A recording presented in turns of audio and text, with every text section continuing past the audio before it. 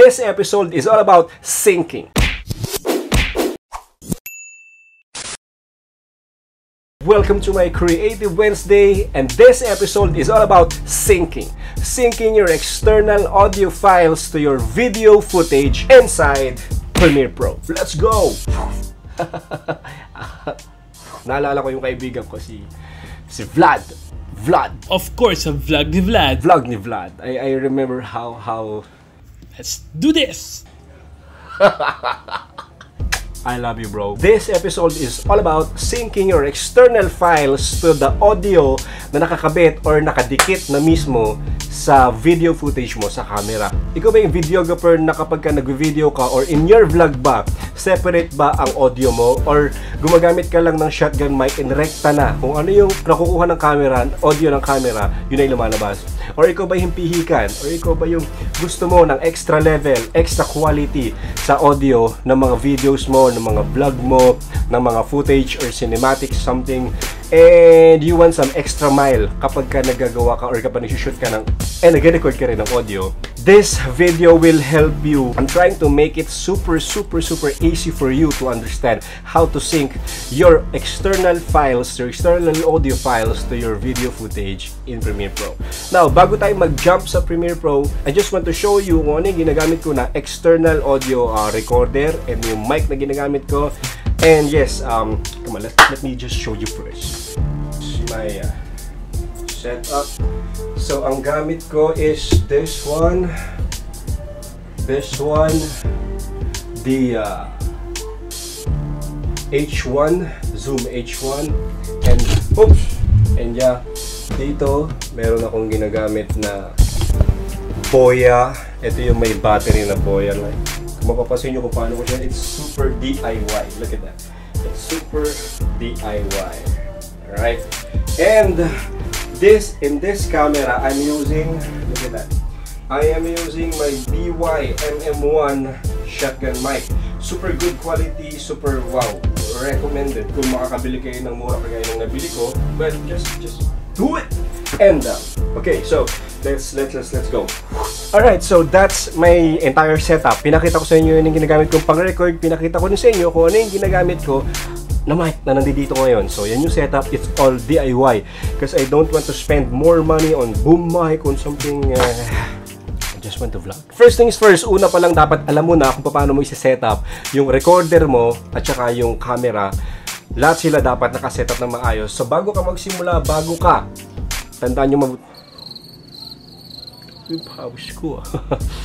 Bago mo simulan ang pag-record o pag-shoot ng kung anumang footage or film or vlog mo, make this super important thing. And what is that? Clap. Isa lang, isa lang.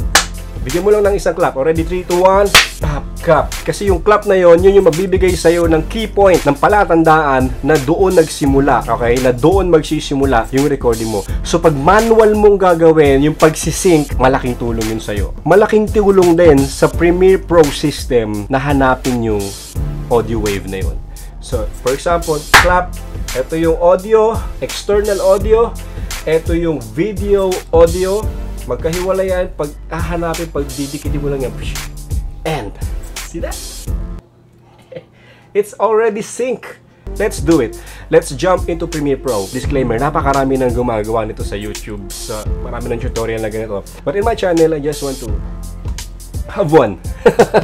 Alright and uh, yes let's do it. Let's jump into Premiere Pro and and make this all done. Because It's hot! Andito tayo ngayon sa Premiere Pro at ipapakita ko sa inyo kung paano siya isi-sync ang external uh, audio uh, files ninyo sa inyong uh, video footage. Now, ito yung inyong video footage. Ilalagay nyo lang siya dito to make a sequence.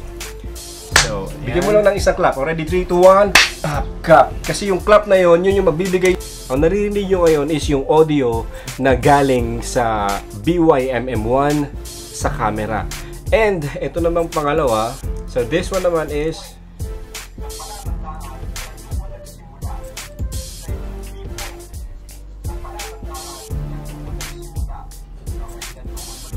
So yun narinig nyo is yun naman yung recorded galing sa H1. Alright? And how to sync this one. This tutorial is super easy. Ang gagawin mo lang is uh, pagtabihin sila ng ganyan. What you're going to do is pagtatabihin mo lang sila ng ganyan. And, okay. I-highlights mo lang pareho. Right click and sync. So, in my case, ang nilagay ko dito is 2 and usually nandito siya. Ilagay mo lang is audio and okay. Wait. Boom. That's it. Now, sync na silang dalawa. Cut mo lang yung sobra. Sync na silang dalawa. I-mute muna natin yung ah, yung audio na galing sa camera.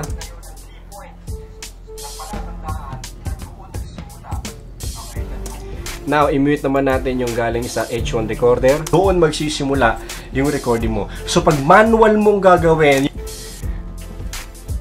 napansin mo kung gaano ka good quality yung BYM M1 na galing sa camera. It's crispy. Alright, so ang ginagawa ko is this. Highlights ko to, right click, right click, and audio gain, normalize, negative 3. Bang. Pagkatapos kong gawin yon, hold alt and scroll down. Nagiging dalawa na. Na doon nagsimula. Okay? Na doon magsisimula. Bakit ko ginagawang dalawa yan? Ito, bakit ko ginagawang dalawa yan? Kasi ang turo sa akin ng isang kaibigan ko, sabi niya, nagiging mas crispy yung tunog. Nagiging mas, alam mo yon mas klaro yung sinasabi kapag ginagawan dalawa. So yung technique or hindi ko alam kung hacks yun or technique pero madalas ko na siyang ginagawa and it works good 100%. Sobrang sobrang nagiging good and good quality yung audio. So ganun mo siya gagawin kapag ka nasa Premiere Pro ka at gagamitin mo yung ah, sistema ng Premiere Pro. So paano naman kapag ka manual? Alright, pag manual, ganito ang gagawin natin. And for example, lalagay mo siya dito. And ito yung audio files niya. Kung mapapansin nyo, naalala nyo, nag-clap tayo. Hanapin mo lang yon yung part na... Oops. Hanapin mo yung part na nag-clap ka. Hanapin mo lang yung pack. Cut. And punta ka sa external mo, sa external audio. Hanapin mo lang din yung part na nag-clap ka. So in this case, ito siya. Cut. Eh, nagagawin mo, manual mo siyang ilalagay. Manual mo silang pagtatagpuing dalawa. So, pagtatagpuin mo silang dalawa, manual. So, yan. Pagtatagpuin mo lang sila, hold alt and right. Think this is the this is the most accurate. Bigyan mo lang ng isang clap. Already 3, 2, 1. Tap. That's it. That's it. So, ganun mo lang siya manual na gagawin. Kailangan mo lang talaga ng point. Yung clap mo or pwedeng basta may something na something na tunog muna na gagawin mo. Alright. Kapag naman sa wedding ang ginagawa ko ganito, nagsasalita ako, this is um, groom's uh, this is uh, groom's vows, groom's gift giving. This is bride's vows, bride's gift giving. Kapag ka nag-external kami dati sa sa mga ganong sa mga ganong events. Pero dahil uh, meron kaming ginagamit ngayon na Rode uh, Link lapel, di na namin siya masyadong ginagawa. So medyo dumali, medyo naging madali yung trabaho. But if you are uh, kung kung wala ka pang lapel mic and nagsisimula ka pa lang, ang meron ka lang is yung Zoom H1. Well, this is the technique na pwedeng or possible makatulong sa'yo. Pwede mo siyang i-sync sa system ng Premiere Pro and pwede ka ring uh, mag-manual basta alam mo lang yung system. And yung paraan. Mean, system ba ako ng system? Ito, networking. And yes guys, if you like this video, like, share, comment kung anong sa tingin yung may paraan pa kayo na pwedeng share sa akin. Palitan tayo ng idea, palitan tayo ng paraan. And uh, yes, if you like this video, subscribe, hit the bell kapag ka may bago tayong video is uh, may notification na dating sa'yo may video tayo and you're always updated. Thank you guys for uh, staying uh, with me for this uh, simple tutorial. Hope you guys like this video.